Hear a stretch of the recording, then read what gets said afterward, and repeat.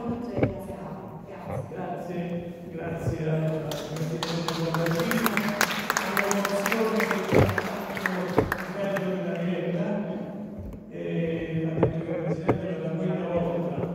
Per essere Presidente per la quinta volta significa che mi ha dato veramente tanto a questo Paese. Io ringrazio perché diceva Giovanni sono diventato il rappresentatore storico di questa cerimonia e di questa manifestazione. È un invito che io assolvo con tantissimo entusiasmo, anche perché si tratta di promuovere quelle che sono state le eccellenze della penisola sorrentina. Nell'anno d'oro cito un nome per il fermatore Gianluigi Apollo. Mm, Quelle che sono le finalità dell'iniziativa, le modalità del premio, intanto chiedo alla regia di cominciare con il primo video, il primo documento che accompagna questa sera la manifestazione ed è un documento realizzato da uno dei premiati che andremo subito a presentare e che è Paolo Capirri.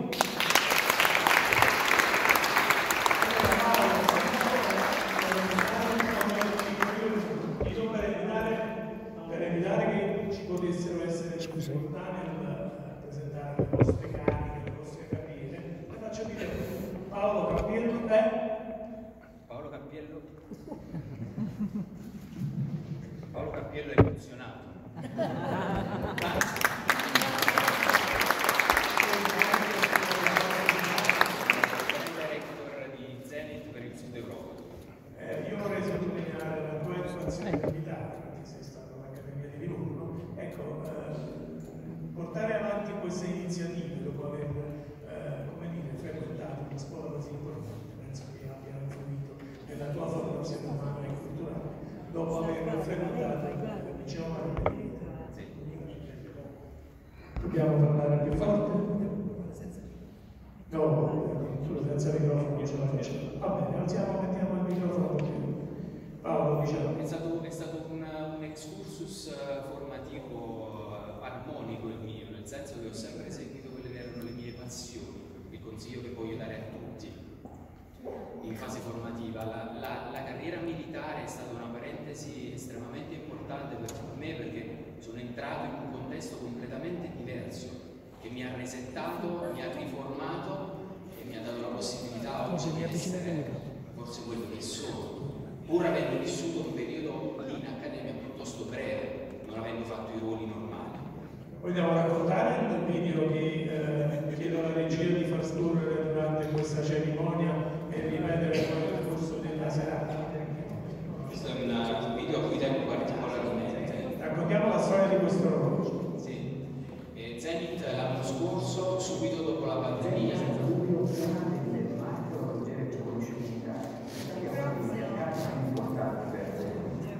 C'è una sorta di legame affettivo speciale tra Zenit e gli italiani. Devo dire che mai mi sarei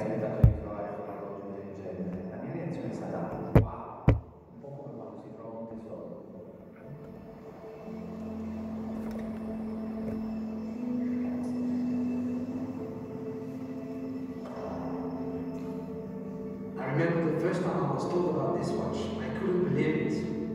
You know, we received a lot of proposals to tell us that this or that watch could be available for sale for our collection. But we have to be very cautious. Our criteria of such watches and the kind of controls it has to go through is quite extreme. The first meeting was done during the conf call, and yet we all immediately understood that we are dealing with a truly exceptional watch, in more than one way. The model itself, its personal history, so to speak, its condition.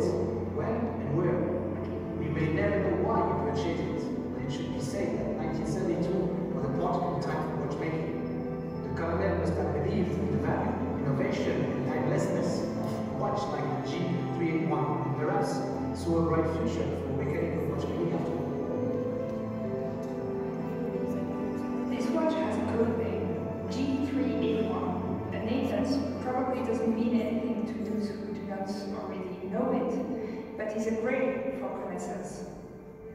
So we opened it, we checked its rate, we made sure, of course, that no part was defective. There was nothing to change. This is really the kind of unicorn among built watches that we spent years and years trying to track down.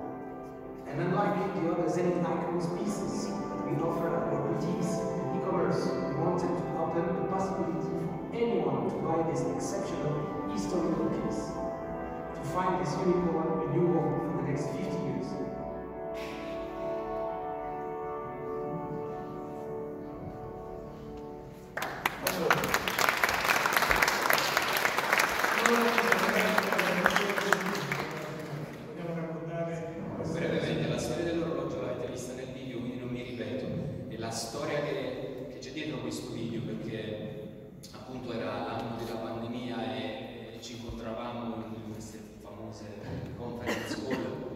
decide di, si decise di lanciare un progetto che un, un progetto che chiamiamo Icons di valorizzazione del nostro patrimonio collezionistico a livello mondiale. Quindi Zenith è nel patrimonio degli italiani, la quantità di orologi con valore collezionistico oggi a livello mondiale che c'è in Italia non c'è in nessuna parte del mondo. Quindi la direttrice marketing mi chiama e mi dice mettiamoci alla ricerca di un pezzo veramente unico, io trovo appunto questo orologio. Ma quello che interessa raccontare oggi perché siamo a Sorrento è che questo orologio è stato eh, acquistato in, in provincia di Napoli, non a Sorrento. Solo che per fini comunicativi eh, le esigenze Come della al solito Sorrento ha un nome e un volto. ha un nome e un volto perché è un spendibile a livello mondiale. Io dovunque vado sono di Sorrento e ho le porte aperte, un sorriso, ah sono stato a Sorrento, sono stato. Quindi eh, dice raccontiamo, la, raccontiamo la, la- la dolce vita, raccontiamo l'italianità. Quindi noi ti mandiamo una tour dove puoi girare questo video e noi ti facciamo raggiungere da loro. E mi gioco forza, conoscendo diciamo. ho fatto il sacrificio, ho fatto- per me è stato un onore perché questo è il video che ha dato appunto vita questo progetto, che- progetto che poi è stato diffuso a livello mondiale in maniera molto importante.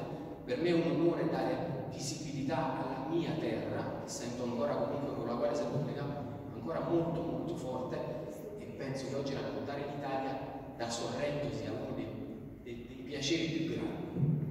L'orologio.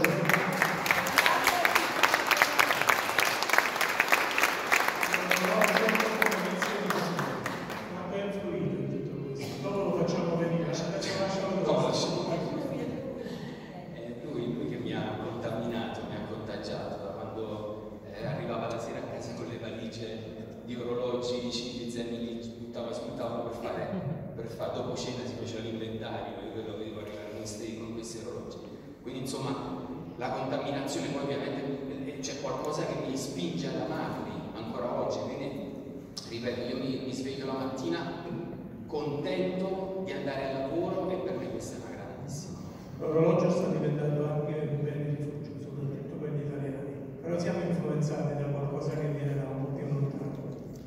Abbiamo un discorso molto importante, molto, molto lungo questo, per la- la- la- perché ci sono delle dinamiche anche legate alla pandemia che hanno fatto sì che, che a livello mondiale eh, chi, ha disponibilità, avesse- chi aveva disponibilità e chi ha ancora disponibilità spendesse in qualcosa che fosse accessibile nello stesso tempo che magari non è stato poss- possibile avere attraverso una vacanza. Quindi c'è- si è innescato un processo a catena pazzesco. Gioielli che prendono la, la strada degli arabi. No, no, no. Oggi, oggi il cliente italiano è uno dei nostri, almeno per Zenith, cioè, cliente italiano è uno dei nostri clienti più importanti. E questo ci permette di avere anche un effetto più visibile, più tangibile quando facciamo delle operazioni di marketing, quando implementiamo delle strategie di marketing che ovviamente sono indirizzate sul pubblico locale, sono geolocalizzate, diciamo, vediamo subito l'effetto, questo dà un gusto molto più più un gusto particolare, e poi la cultura orologiera che c'è in Italia ancora una volta non esiste da nessuna parte, quindi anche il momento della vendita è sempre un momento di grande, di grande scambio culturale. Il mercato internazionale di Borgo è di posti. No, non Zenit no. Zenit no, ma non per, un discorso commerciale, ma per un discorso di produzione.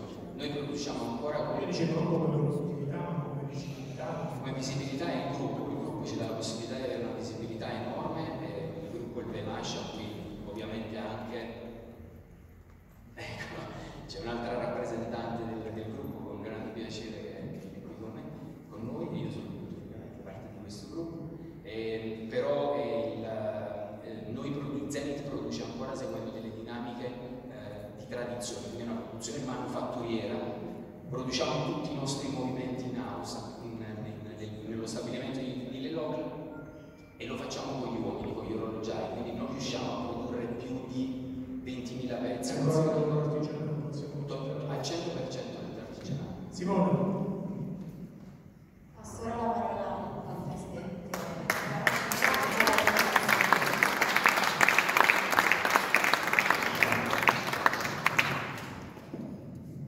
merita, merita un bravo perché ci ha fatto venire voglia di giocare Sono a sua disposizione sempre. bisogna essere visitato di sorpresa.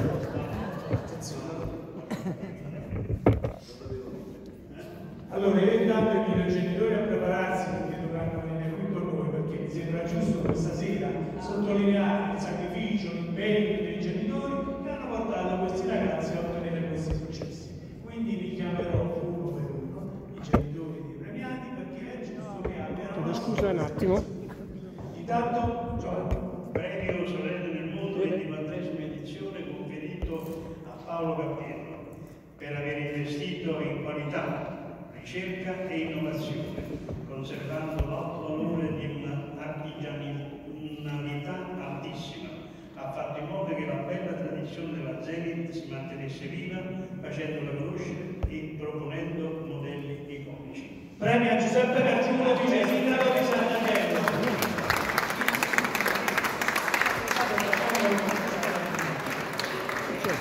Il suo desiderio di diffondere la cultura del lusso e del bello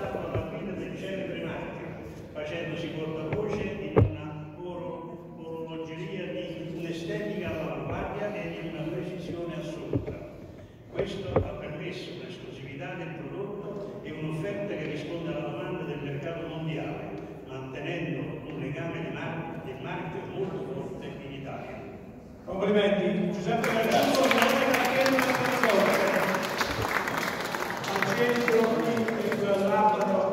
è la presentazione della premiazione. Scusate un attimo. No, il di Sorrento premierà altre persone.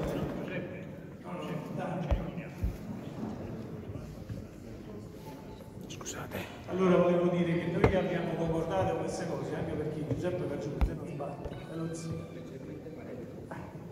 diversamente abattido.